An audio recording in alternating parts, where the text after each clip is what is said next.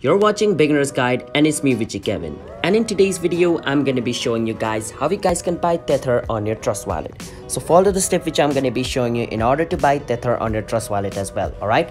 But before that, if you guys are new to our channel Beginner's Guide, then don't forget to hit the like and subscribe to our YouTube channel with notification on so you guys can get notified for a future video and if you guys have any question you can feel free to ask us in the comment to know more about trust wallet crypto and other stuff all right so first step is you open your Trust Wallet and click on buy at the top.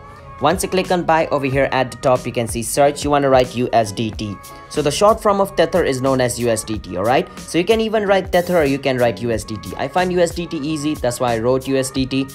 Now over here, there's two type of Tether, which is going to be the Ethereum one and the Tron network one. Now Ethereum network one is going to take a lot of fee to transfer, but the Tron network one, which is also known as TRC21, takes less no fee for transferring. So i'm going to choose trc20 but you can choose whichever you want all right?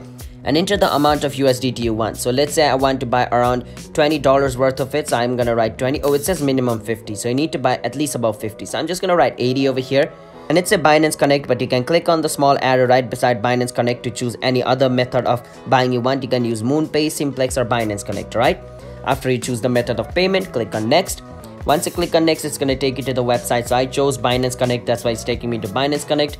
Now over here, I need to log in into my Binance Connect account. If I don't have one, I can click on says, you know, create an account at the top. Once I click on it, I can create an account, log in into my account, and then I can buy Tether over there. After I buy Tether over there using Binance Connect, the Tether is going to be transferred to my, you know, to my Trust Wallet's wallet account, which means over here. So I can see my Tether over here, all right? So it depends on it. This is the ERC21 and this is the TRC21 alright so if you bought the TRC21 it's gonna be shown over here if you bought the ERC21 it's gonna be shown over here alright?